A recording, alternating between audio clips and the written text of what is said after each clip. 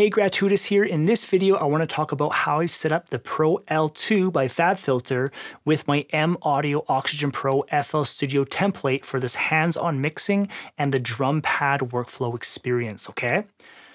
All right, so Pro L2, super powerful limiter. We can push it super loud, very, very transparent, and we can get our hands on mixing. So let me break down how I've set it up, okay? All right, so the first slider here is our volume right? This is what we can push up and then we can get more limiting.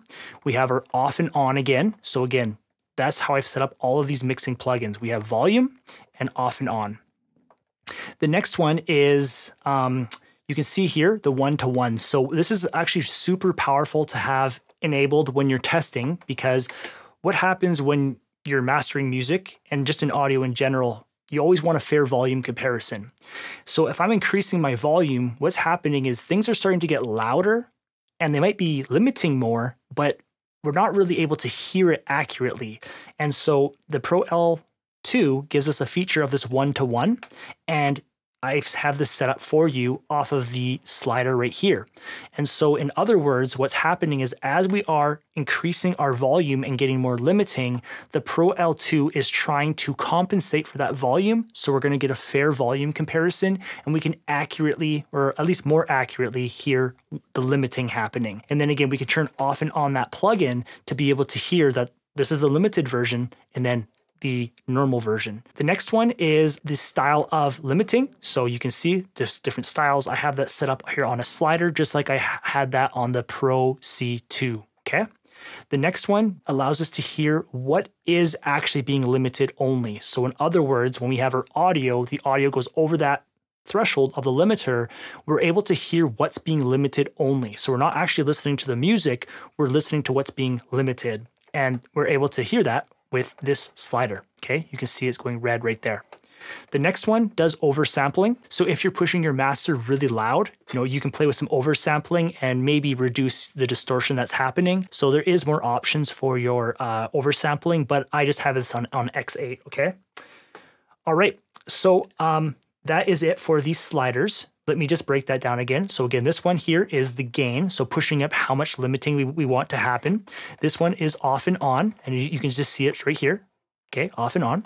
The next one is able to hear at a fair volume comparison what's um, um, what is actually limiting, and then we have um, the style of limiting, and then we have what's actually being limited only. So we're only hearing what goes over that threshold. And a lot of times it sounds really spiky, but we can start hearing that, oh, you know what? We're actually limiting that drum pretty hard, okay?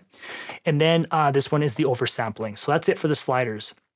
For the knobs, the first two is the attack and the release. The next one is the look ahead. The look ahead, if it's way at zero, your master will be able to be louder, but you risk distortion. The next one is the transients. So this one is the attack of the transients, you know, kind of linking them together.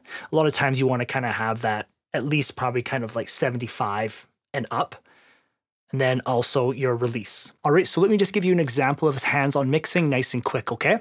So let's just hit play here. I'm going to enable the one-to-one. -one. So if any limiting happening, um, we're gonna kind of hear a fair volume comparison.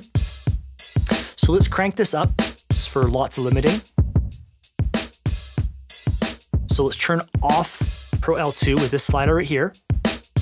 So this is no limiting and Pro L2 is totally disabled. When I enable it, we have our limiting happening, but it's kind of like, you know, Pro L2 is trying to do a fair volume comparison for us. We can also, so we are hearing what's actually being limited. So maybe, you know, pushing a little bit hard. So we can pull it back a little bit.